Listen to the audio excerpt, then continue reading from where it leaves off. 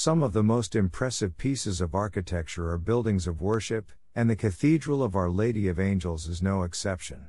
The building was finished in the spring of 2002 and is said to feature virtually no right angles, as the geometry contributes to the cathedral's feeling of mystery and its aura of majesty, they state on their website. Inside, visitors will find stunning stained glass windows in the mausoleum, tall bronze doors, and beautifully done hanging tapestry, the largest amount in a Catholic church in the United States.